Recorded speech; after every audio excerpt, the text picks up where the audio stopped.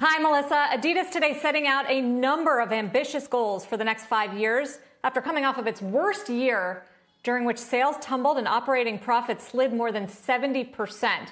Now the company is rolling out what it's calling Own the Game strategy. It projects 8 to 10% sales growth per year over the next five years by doubling its e commerce sales and its direct to consumer business by 2025. CEO Kasper Rorsted saying this year he expects double digit growth fueled by market share gains in the US, in China, and in Europe, and a product pipeline that he says has been in the works for months. Also, the new stimulus money just passed in the US should help. When stimulus goes into the market, it goes to what we call affordable luxury. We are in those categories, and people will tend to spend around our product area. So we're very happy with that stepping. Of course, what's much more important is that you get the vaccine done, you get to a you know, sustainable environment where people can start working again, and that's going to be the real kicker for the environment. So the stimulus is good. The much more important one is the vaccine, and that will help us drive growth for the next years to come.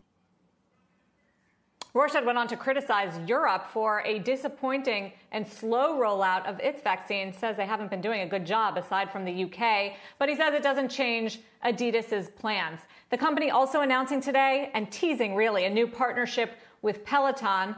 They've also crea- hired some new creative stars like Jerry Lorenzo, who was previously at Nike, to build some excitement around a new basketball line at Adidas, which Rorsted said will be marked by lifestyle and not just by the Athletics. You can watch the full interview with Kasper Rorsted. Melissa, we talk everything from the future of retail to, of course, his partnership with Kanye West and the Yeezy line and whether he's considered putting him on the board as Kanye has demanded at 3 p.m. closing bell. We've got a lot more on that. Oh, that's quite a tease. I do have a question, Sara, about uh, Adidas' tough year last year. Why was it that it, it fared so poorly when the likes of a Nike and a Lululemon were able to capitalize on the trends of the pandemic, people staying at home, wanting comfy clothes, et cetera, et cetera. And now he thinks coming out of the pandemic, that's going to be its sweet spot.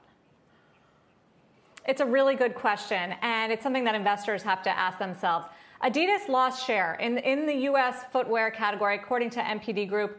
They lost about 90 basis points of share, down to 9.5% market share. So while we did see a lot of enthusiasm for athleisure, and you saw that in growth of Nike, Lululemon, even their tough competitor Puma over in Europe managed to outgrow Adidas.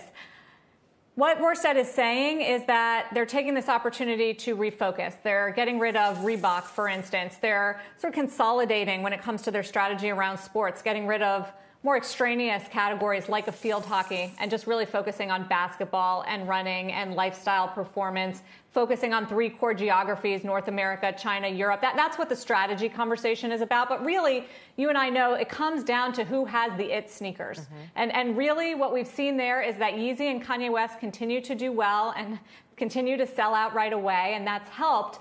But the rest of the line just hasn't captured the imagination and the enthusiasm like for instance what we've seen out of Nike and out of some of the competitors and that is something that Adidas is hoping to change. And he said they've been working 18 months on this new product pipeline hired some new designers and are ready to gear up and outgrow the category for this year. But now they have to execute and, and perform because they are making some big promises which is why the stock is up. Shepard Smith here. Thanks for watching CNBC on YouTube